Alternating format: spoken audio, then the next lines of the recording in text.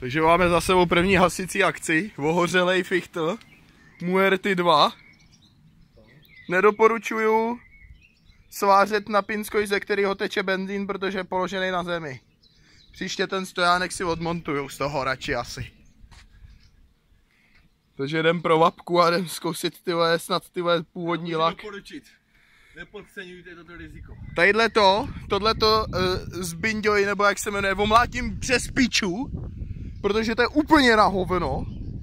Tadyhle je nějaká pojistka, kterou jsem hledal půl hodiny, než jsem to odjistil, aby to začalo hasit. Vole. Chtěl za to dvě stovky, vole.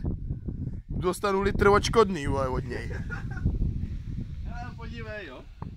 Máš krásnou vrátěnou pojistku, tak nějak to tady vezmeš. V tu chvíli prostě za něco chytneš, vyškubneš a jdeš.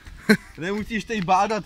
Já jen v loni nějaký mačkání pojistek, promačkávání, čeho si tu chvíli na to nemáš čas přemýšlet, kde máš co mačkat. Prostě sápeš a hasíš. To je situace, ty vole, Fichtl ohořelej, vole. Chudák. No, Trošku blbej, no, nesmíš u toho bejt, no.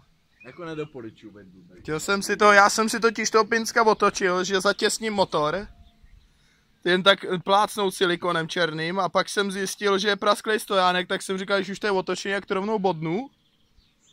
No a pak začal hořet ten benzín, který z toho celou dobu tek.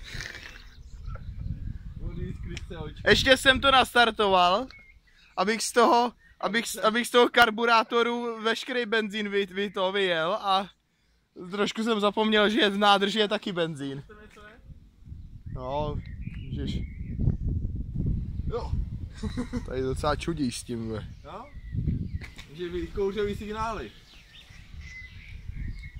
Co, ser na to, to necháme pak naplnit, ve. Jestli to půjde.